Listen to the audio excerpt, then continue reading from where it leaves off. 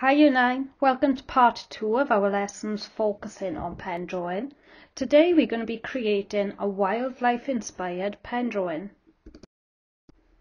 I'm going to start off with a quick little question to make sure you're all awake. Take a look at the drawings on the screen now and see which mark making techniques you can recognise from them. You should be able to spot four separate techniques and I'm going to give you a minute to have a closer look and recall the techniques that we learnt in our last lesson.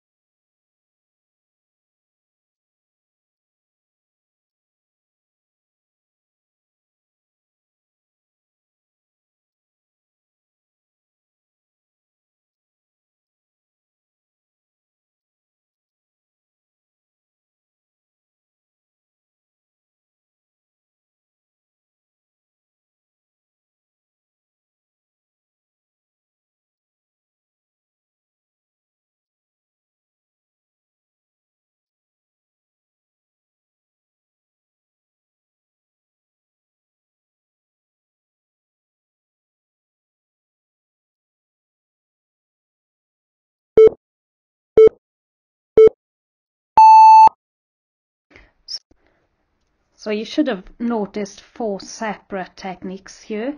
So first up we got hatching, which is straight lines.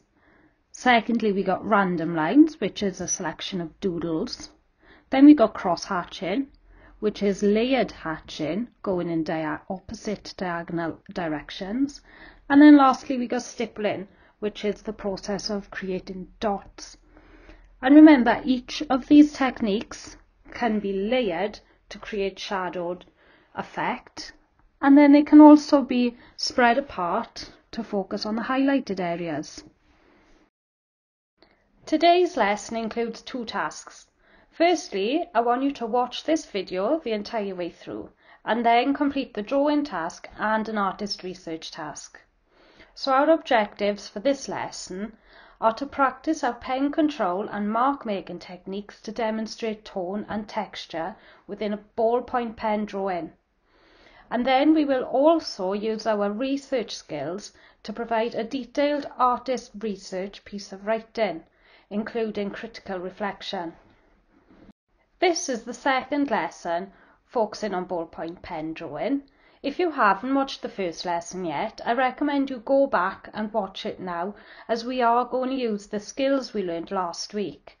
I've included a few examples of pen drawings on the screen now to show you tonal ranges and textual values that are able to create using just a pen.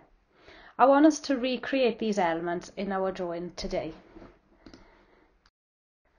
Here is a pen drawing that I done to demonstrate to you exactly how we can put those techniques we learned last week into practice for today's lesson. These techniques are going to help us develop a wildlife inspired drawing during today's drawing task. So let's look a little bit closer at how I created this drawing. First I applied light pressure to create my outline. Then I marked out the darker areas and worked out what which mark making techniques which were most suited to the different parts of the drawing. For example, hatching worked really well for the more furry parts of the bee as this created a nice texture, whereas the very light shading technique suited the wings. And then lastly, I used a mixture of techniques to create different textures and area of shading. As I mentioned earlier, our drawing task today is going to be focused on wildlife, seems as we are so close to spring now. I've put a selection of images on Teams for you to use to base your drawings off. Now I have selected these photos as they show a lovely range of tones and textures, so they're perfect images for us to be working off to really show our newfound skills. Remember, a ballpoint pen can create such a lovely range of tones, from extremely dark and very light. So we're going to have a chance to really show off our skills within this drawing task. Now the drawing task today is just 30 minutes long, so I'm not expecting you to complete the whole drawing. Drawing with a pen is time consuming and I would rather you do one area of the drawing to a really high standard rather than rush the whole thing to finish. So to help you narrow this selection down a bit, I've just highlighted a smaller part of each of the images. I'll include both the full image and the selected images on Teams. So if you want to be push yourself a bit further and draw the entire image you can, but don't feel like you have to. Like I said, I'd rather you do a small part really well rather than rush. So just to highlight the structure for today's drawing task, I want you to first pick out an image from the resources on Teams. Then you should draw the section of the image which is highlighted. Remember to focus particularly on the textures and tones. And you need to use the pen control and mark making techniques we learned in the last lesson. If you get to the end of the 30 minutes and you still want to draw, by all means go ahead and draw more if you want. In the video I'm about to show you, I used a range of techniques, mainly hatching and cross hatching. When you're watching the video, I want you to pay particular notice to how I control the pen throughout the video. See where I place my hand on the pen and also the direction I use the pen. I also want to highlight that this took me around 45 minutes.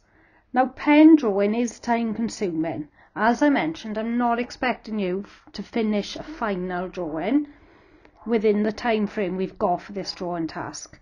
I would rather you finish a section of the photo to a really high standard. So take your time, be patient, and if you can, start really light. Don't rush the shadows, just build them up, and this will get you the best result.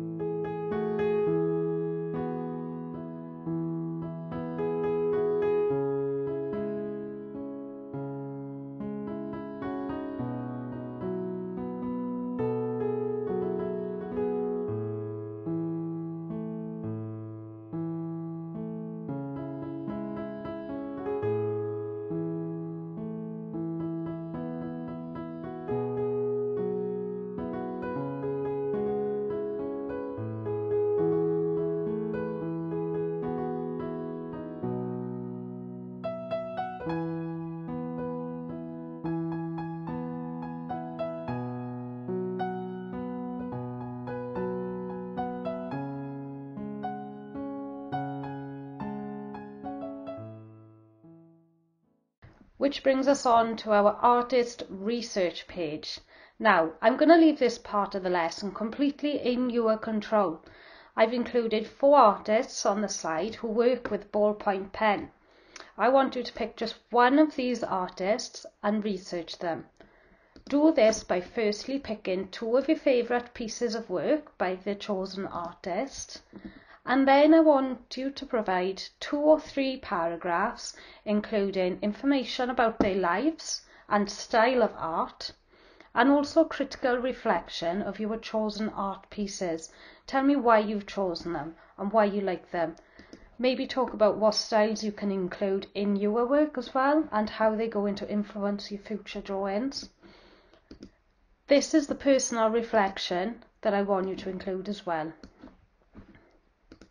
Hopefully today's task will give you a bit of freedom to develop some work that's personal to your own developments. I want you to really experiment and show off your skills. Your work should include a pen drawing that uses controlled pen movements to create texture and tone. should also include artist research, including a detailed paragraph about the artist and examples of their work, and your personal reflection. This is our last art lesson before half term, so I really want you to put effort into this task and good luck, enjoy it, and I'll see you all after half term.